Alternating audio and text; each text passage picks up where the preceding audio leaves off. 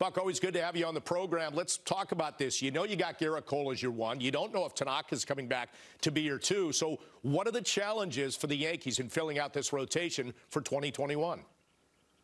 Well, you know, Bob, there's still a lot of unknown about the 21 season. You know, personally, I think they should go to a 100 game season because when you jump from 60 games to 162, you know, you don't want to end up playing the playoffs with, with your, basically your double A team. You're asking a lot. You know, the increment jumps and innings are going to be something almost unheard of. So the depth of your rotation is going to be key.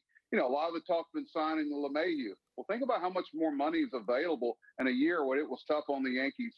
Uh, you know, behind the scenes with with with a lot of the fan attendance that they depend on. So all of a sudden now you're able to, to go with a younger pitching staff and maybe free up some some money for LeMahieu. Not that they're in, in need of doing that necessarily, but they are in the best position they've been in, in a long time. They they probably got one of the best Latin American programs uh, in baseball now. I think they just added three young Latin pitchers that are 21, 21, and 23. Great arms, great future.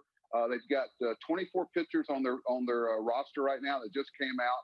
If you were ever going to do it, you know you got Jordan Montgomery there that, that's going to be healthy, and usually that that second year removed from the surgery is where you really get a healthy pitcher. But I put myself in a position not to have to overtax these young pitchers with innings, and they have a lot of depth. You know, you talked about Schmidt, you talked about a lot of guys that some of the fans haven't heard of yet.